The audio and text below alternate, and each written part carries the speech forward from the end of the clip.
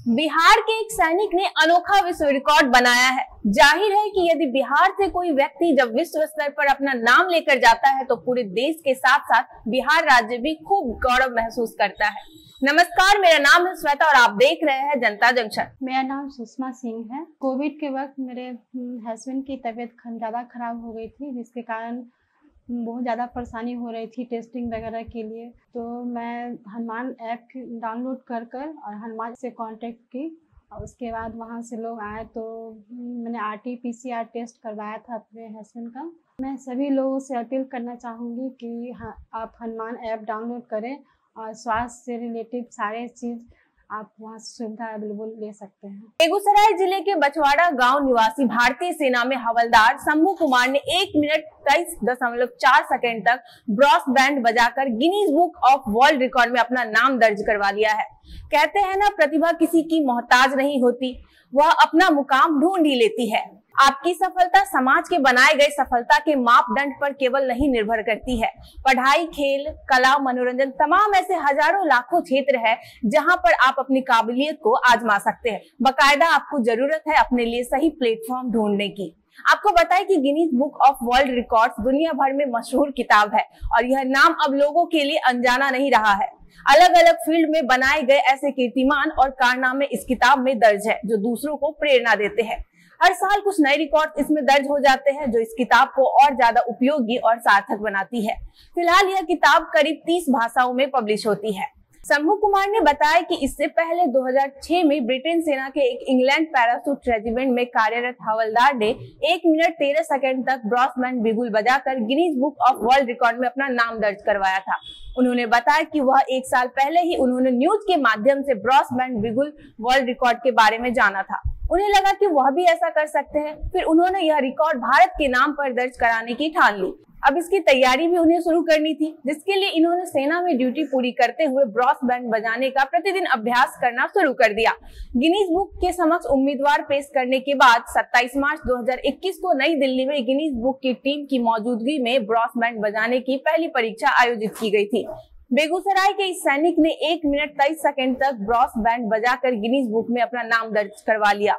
बिहार के इस सैनिक ने इंग्लैंड पैरासूट रेजिमेंट के एक हवलदार का एक मिनट तेरह सेकंड का रिकॉर्ड तोड़ा है और परीक्षा में इन्होंने लगातार एक मिनट तेईस दशमलव चार सेकेंड ब्रॉस बैंड बजाने का रिकॉर्ड कायम किया है। 17 सितंबर 2021 को गिनीज बुक की ओर से उन्हें ईमेल पर इंग्लैंड पैरासूट रेजिमेंट के हवलदार द्वारा वर्ष 2006 में बनाए गए रिकॉर्ड तोड़े जाने का और गिनीज बुक वर्ल्ड रिकॉर्ड में अपना नाम दर्ज कराने के लिए शुभकामनाएँ संदेश प्राप्त होनी शुरू हो गई।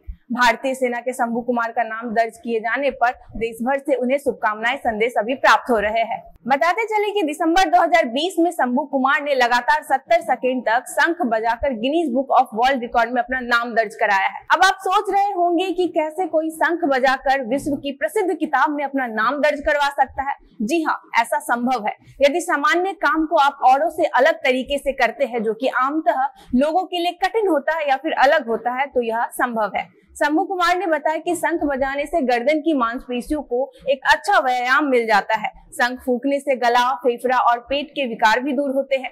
1928 में बर्लिन यूनिवर्सिटी ने भी शंख ध्वनि पर शोध करके यह सिद्ध किया है कि इसकी ध्वनि में कीटाणु नष्ट करने की उत्तम औषधि है।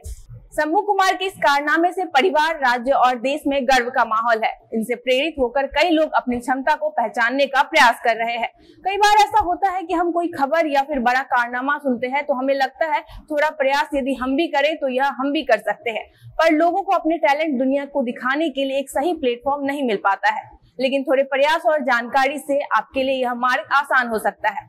आज हम आपको बताएँगे Guinness book of world record में आप अपना नाम कैसे दर्ज करवा सकते हैं। सबसे पहले इस किताब की आधिकारिक वेबसाइट www.guinnessworldrecords.com पर आपको रजिस्ट्रेशन करवाना होगा। इसके बाद आपको एक्टिवेशन लिंक के साथ एक ईमेल मिलेगा।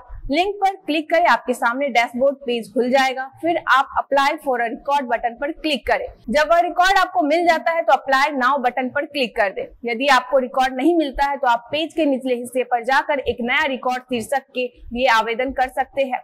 यदि आपको रिकॉर्ड नहीं मिलता तो आप पेज के निचले हिस्से पर एक नया रिकॉर्ड शीर्षक के लिए आवेदन पर क्लिक करके एक नए रिकॉर्ड के लिए आवेदन कर सकते हैं। इस प्रकार से आप आवेदन प्रक्रिया पूरी कर सकते हैं।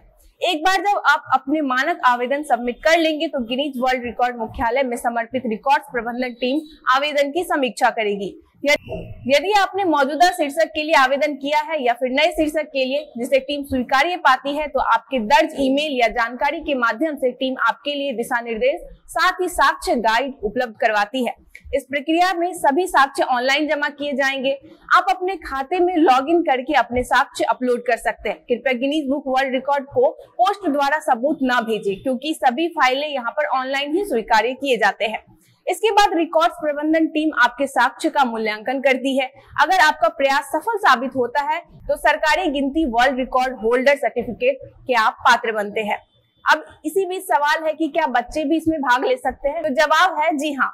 यदि कोई तेरह वर्ष से कम का है तो उसे खाता बनाने के लिए, अपने आवेदन सबमिट करने के लिए, अपने अभिभावक की आवश्यकता होगी। तो ये थी आज की ज़रूरी जानकारी, जिससे आप भी अपनी प्रतिभा को मंच दे सकते हैं, अपने टैलेंट को दुनिया के सामने साबित कर सकते हैं, साथ ही अपने देश, राज्य और समाज का नाम विश्व भर में रोशन कर सकते हैं। इस वीडियो में इतना ही, मिलते अगले वीडियो में नई जानकारी के साथ। तब तक देखते रहे जनता जंक्शन। मेरा नाम है श्वेता और कैमरे पर मौजूद है ओम प्रकाश। अगर आप यह वीडियो फेसबुक पर देख रहे हैं तो हमारे पेज को लाइक कर ले और यूट्यूब पर देख रहे हैं तो हमारे चैनल को सब्सक्राइब कर ले। धन्यवाद।